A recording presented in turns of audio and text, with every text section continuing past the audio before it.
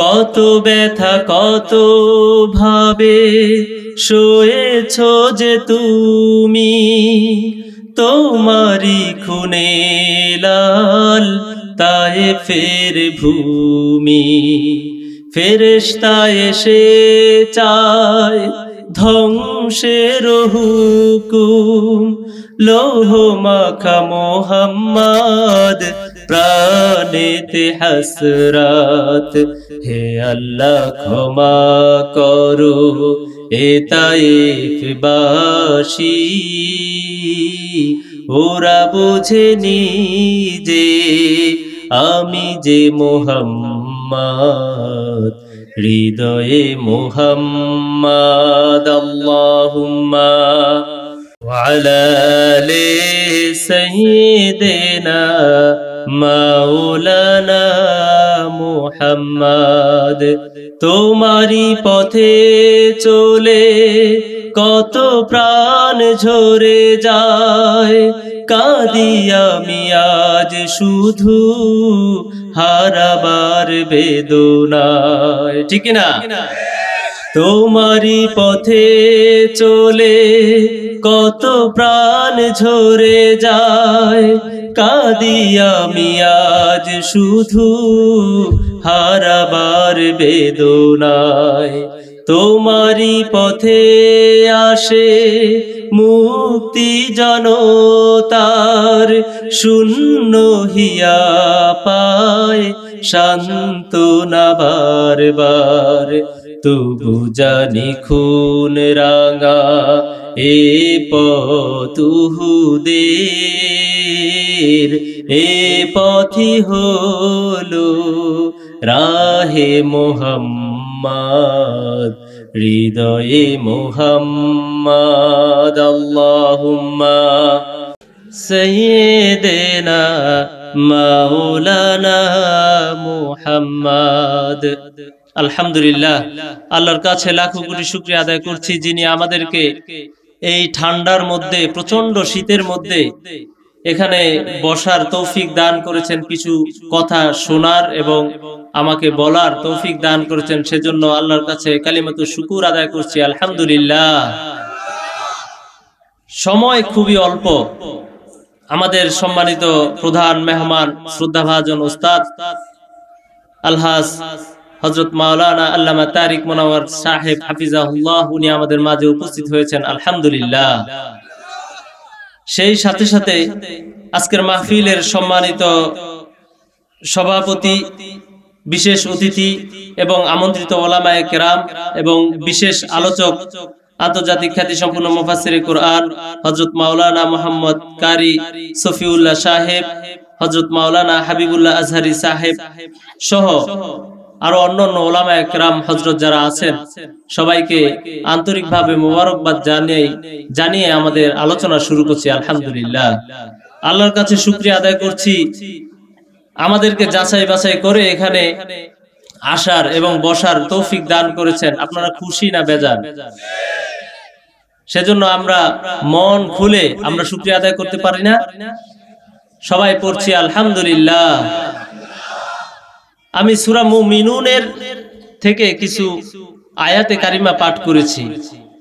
আল্লাহ রব্বুল আলামিন যারা এই কিছু গুণ অর্জন করবে, তাদেরকে আল্লাহ রব্বুল আলামিন জান্নাতের ওয়ারিস হিসাবে কবুল করবে, সুবহানাল্লাহ। সেজন্য আল্লাহ রব্বুল আলামিন সূরা মুমিনুনের প্রথম কিছু আয়াতের মধ্যে সফল কারা? কারা সফল হবে?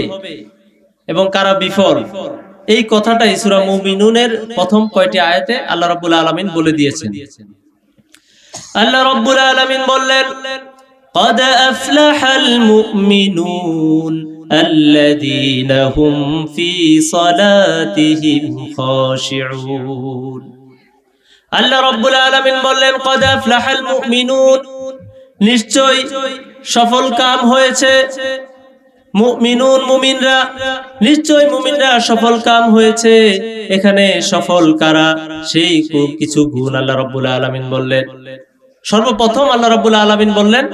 নিশ্চয় সফল হয়েছে। তারা যারা মুমিন, যারা ঈমান এনেছে। ঈমান এনেছে কার উপরে? আল্লাহর উপরে। অথচ আজকে আমাদের সমাজে দেখা যায়, আমরা ইমান আনার পরেও আল্লাহ রব্বুল আলমিন যেই কাজগুলো আমাদের করার জন্য বলেছেন, সেই কাজগুলো আমরা করতে পারি না।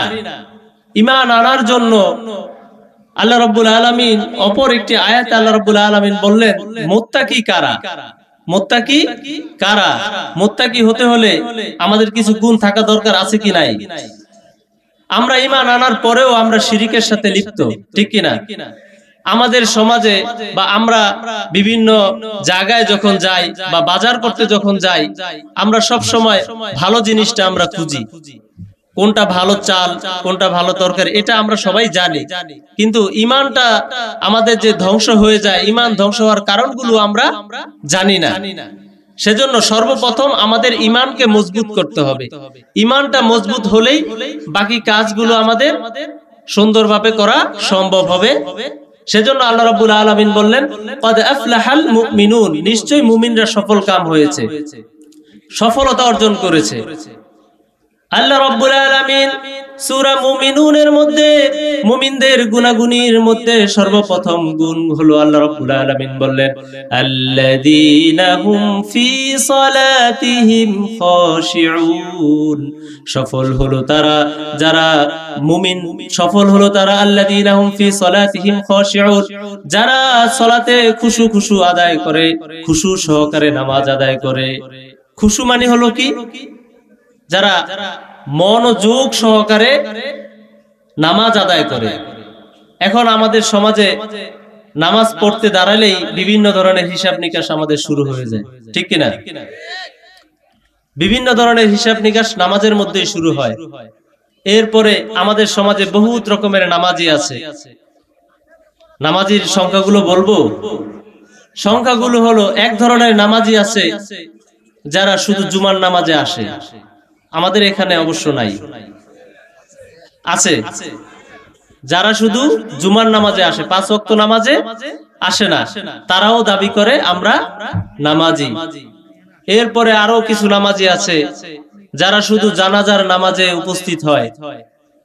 এমনি ভাবে কোন নামাজে আজান শুনলেও মসজিদে আসে না। শুধু জানাজার নামাজের কথা শুনলেই তারা দৌড় পেরে জানাজায় শরিক হয়। এরকম নামাজিও আমাদের সমাজে আছে। আরেক ধরনের নামাজি পাওয়া যায় যারা শুধু রোজার ঈদের নামাজ এবং কুরবানির ঈদের নামাজে শরিক হয়। আছে না নাই? আরেক ধরনের নামাজ পাওয়া যায় নামাজি পাওয়া যায় তারাও বলে আমরা মুসলমান। সেটা হলো সবে বরাত।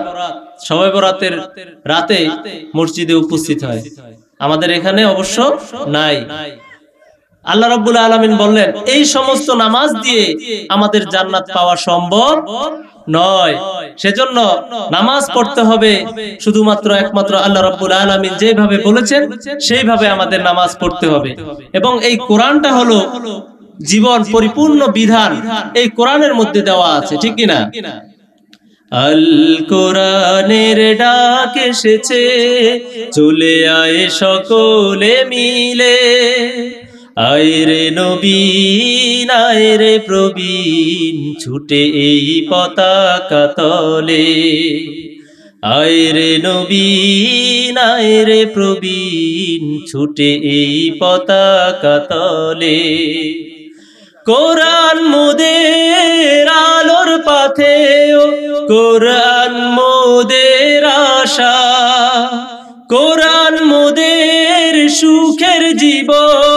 কোরআন ভালোবাসা, ঠিক কিনা? কিন্তু বড়ই আফসোস। লিল্লাহে তাকবীর। লিল্লাহে তাকবীর। আহলান সাহলান। প্রধান বক্তার আগমন। প্রধান অতিথির আগমন। প্রধান অতিথির আগমন। মাহফিলের পক্ষ থেকে পড়ুয়াবাসীর পক্ষ থেকে পড়ুয়াবাসীর পক্ষ থেকে তারেক মনোয়ার সাহেবের আগমন। আল্লাহ রবুল আলমিনের কাছে দোয়া করি আমাদের সম্মানিত প্রধান মেহমান উপস্থিত হয়ে গিয়েছেন। সেজন্য আর দেরি করব না।